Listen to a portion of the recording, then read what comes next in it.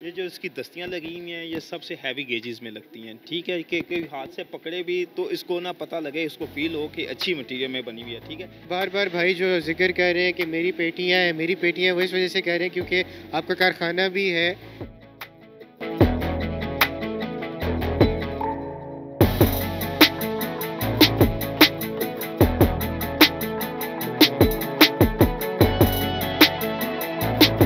पेटियाँ भी आपके पास बनी हुई हैं, ज़ाहिर है आप दिखा रहे हैं होल सेल रेट्स पर क्या है इसकी? अच्छा सर, सबसे बड़ी बात है ना, सब चीज़ पर डिपेंड करती है गेजेस पे। जैसे इसके लॉकिंग आप चेक करें, ठीक है, इसके लॉक खोल के चेक करें, ठीक है। ये बनी हुई है, ये 22 गेज में बना हुआ है, ठीक है, इसके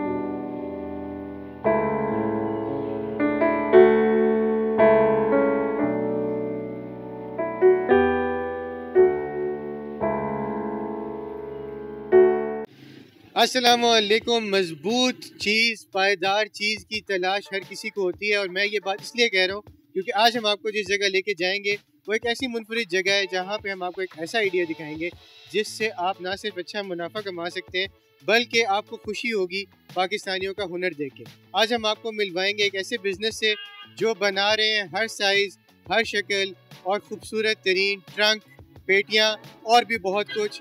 तो आए शुरू करते हैं आज का ज़बरदस्त सफ़र। ये है बक्स। इसको हम ट्रंक कहते हैं। ये बड़ी पेटियों के साथ।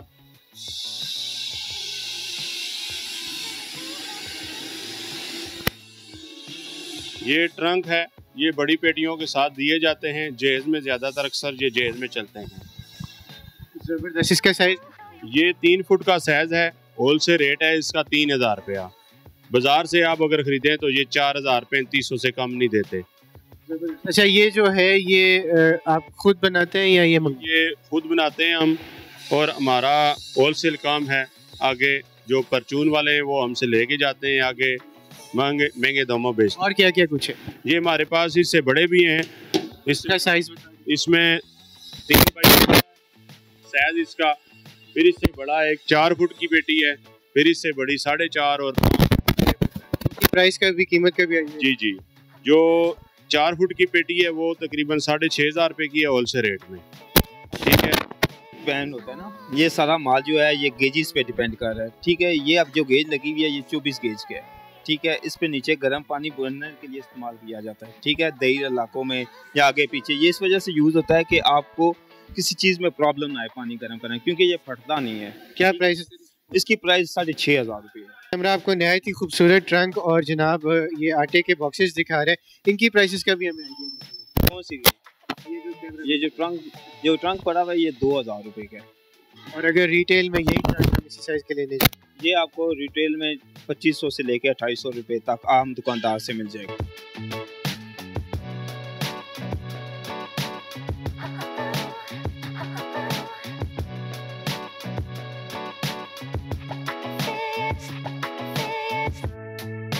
वगैरह जो है डिज़ाइन इसका ख़राब तो नहीं हो नहीं सर ये ताउमर बंदे के साथ चलता रहता है। देखें बाकी तो इंसान की अपनी केयरिंग है। जितना इसको केयरिंग के साथ रखेंगे इतना ही आपको खराब नहीं होगी। बिल्कुल ऐसा ही है। कोई भी चीज़ आपको रखो ध्यान से रखो। बेशक हल्की गेज भी ना हो। कोई भी चीज़ हो मटीरियल हो उसको ध्यान से रखोगे वो खराब कभी पेटियाँ भी आपके पास बनी हुई हैं ज़ाहिर है आप दिखा रहे हैं होल सेल रेट्स पे क्या है इसकी अच्छा सर सबसे बड़ी बात है ना सब चीज़ पर डिपेंड करती है गेजेस पे। जैसे इसके लॉकिंग आप चेक करें ठीक है इसके लॉक खोल के चेक करें ठीक है। ये बनी हुई है ये 22 गेज में बना हुआ है ठीक है। इसके ऊपर भी आप चढ़ जाओगे ना तो ये हिलेगा नहीं। ठीक है इसके ऊपर भी आप चढ़ जाएँ ठीक है ये चौबीस गेज का माल है। यानी कि ये मज़बूत है मज़बूत है।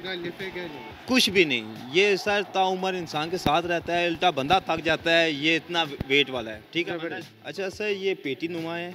ठीक है इसका जो साइज़ है ये पाँच बाय तीन बाय तीन इसका साइज़ होता है। ठीक है एक्चुअल जो स्टैंडर्ड साइज़ यही है या पाँच बाय तीन बाय तीन साइज़ है और दूसरा छः बाय तीन बाय तीन का साइज़ है। इसके अलावा अगर आपके ऑर्डर पे भी इसका साइज़ बनवाना चाहें तो वो भी बन जाता है। ठीक है, इसमें मुख्तलिफ़ इकसाम आ जाती हैं। जैसे ये डबल कुंडे में बना हुआ है। ठीक है, ये कब्ज़ा बीच में लगा हुआ है। ठीक है, ये ईजिली ना आप ओपन इसको कर सकते हो। घर में खातून होती हैं, इसको ओपन करने में ना आपको दुशारी नहीं है। ठीक है, आप इस, जैसे ये आप देख लें, मेरे साथ सेट पड़ा हुआ है, ये भी मुझसे सेल आउट हुई है। ठीक है ये आप इजीली यहाँ से उठा सकते हो। बजाय ये पूरा होता तो इसको कंप्लीट पूरा खोलना अच्छा, इसकी पड़ता। कि, कितनी गेज है और क्या इसके प्राइस के सर ये चौबीस गेज में पड़ी हुई है और ये सोलह हज़ार रुपये में पड़ी हुई है। और अगर आप यही ट्रंक इसी साइज़ का बाहर से लेते तो सर ये ट्रंक अगर बाईस से आप लेंगे ना तो ये आपको बीस से बाईस हज़ार रुपये में। ये सर इसका साइज़ है तीन दो का डब्बा इसको कहा जाता है। ठीक है जो इसकी लेंथ फीट है, उसकी जो चौड़ाई है, वो दो फीट की है। ठीक है, ये आपको मिल जाएगा पैंतीस सौ रुपये में। ये यही पेटी आपको अगर चौबीस गेज में बनाना चाहें तो ये आपको दस हज़ार रुपये में बन जाएगी, आठ हज़ार रुपये में बन जाएगी। ये जिस तरह आपको चाहिए, उसी तरह आपको जितना गुड़ डालते जाएँगे, उतना मीठा होता जाएगा, उतनी मज़बूत होती जाएगी पेटी। अच्छा ये जो पेटियाँ हैं क्या ये साथ निभाएँगी भी या ये फारिग है सर बात ये है कि तरह अपना इसका ख्याल रखेंगे उतना ही आपके लिए बेनिफिट है। जिस तरह इंसान अपना ख्याल रखता है कवर अप करता है सर्दियाँ अगर स्वेटर ना पहनेगा बीमार हो जाएगा इसका भी यही अंदाज़ा है ठीक है? इसको कुछ भी नहीं होता है एक जगह आपने स्टिल रख देनी है और वहाँ से अपने बिस्तरे उठाने और निकालने हैं बस। अच्छा हम देख रहे हैं कुछ पेटियों के नीचे आपने रैक्स रखे हुए हैं तो ये भी आप खुद बनाते अच्छा ये रैक्स की बात की जाए तो ये रैक्स इसको फ्रेम कहा जाता है और ये इस वजह से यूज़ होता है कि खातून जो घर में होती हैं, जब ये पानी से जब फ़र्ज़ होती हैं या कुछ भी करती हैं कि पेटी को पानी ना लगे, ठीक है? चादर को जब पानी लगता जाता है तो कुछ टाइम होता है, कुछ टाइम पीरियड निकालते हैं तो जंग की तरफ़ जाना पड़ता है। बेनिफिट ये चीज़ें हैं मेरी पेटी में जो इसके कुंडे दस्तियाँ आप देख रहे हैं। ये जो इसकी दस्तियाँ लगी हुई हैं, ये सबसे हैवी गेजेस में लगती हैं, ठीक है? कि कोई हाथ से पकड़े भी तो इसको ना पता लगे, इसको फील हो कि अच्छी मटेरियल में बनी हुई है, ठीक है? लोकल माल होता है, उसको पकड़ते तो कुछ टाइम बाद ना वो उखड़ जाती है। देखिए मैं इसको खींच रहा हूँ, मगर ये हिल नहीं रही, ठीक है? अपनी पूरी ज़ोर लगा रहा हूँ, ठीक है? ये इसका अपना ताला आता है कि आपके पास अपना ताला, ये फिटिंग है, आप ताला यूज़ कर सकते हो। ये सारी इसके साथ ना ये मोटाइयाँ जो ये रिम लगी हुई हैं, ये इसके अंदर रिम लगती हैं, ठीक है? ये सारी थी इस जाके ना ये टाइट होती है, ठीक है? ये पेटी ऐसे तैयार की जाती है। अच्छा बार बार भाई जो ज़िक्र कर रहे हैं कि मेरी पेटियाँ हैं, मेरी पेटियाँ वो इस वजह से कह रहे हैं क्योंकि आपका कारखाना भी है तो इसके बारे में भी हमारे जी अलहमदिल्ला मेरा अपना कारखाना है और 20 कारीगर मेरे पास काम कर रहे हैं।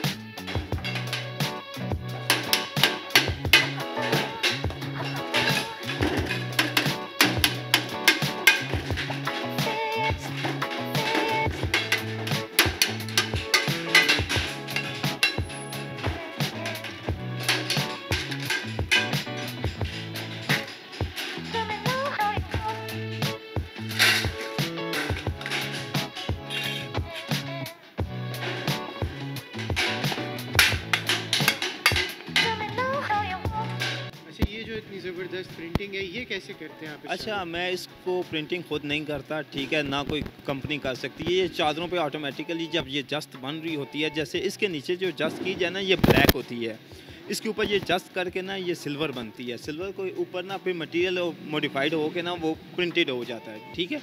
ये तरह तरह की मॉड्यूल्स होती हैं जिसमें से चादर को गुजरना पड़ता है और वो तो प्रिंटेड कहाँ से फिर आती है प्रिंटेड चार्ज सर ये इंपोर्ट होती हैं चाइना जापान ऑस्ट्रेलिया से। ठीक है हमारे पाकिस्तान कराची में भी हैं मगर ये ज़्यादातर इंपोर्टेड होती हैं। यानी कि आपको यहाँ पर जो चीज़ मिल रही है वो इम्पोर्टेड मटीरियल से बनी हुई है बना पाकिस्तानी रहे हैं और ये शान है पाकिस्तान के ऐसे बिजनेसेस आप भी इसको देखें आज के आज अपना कारोबार शुरू करें।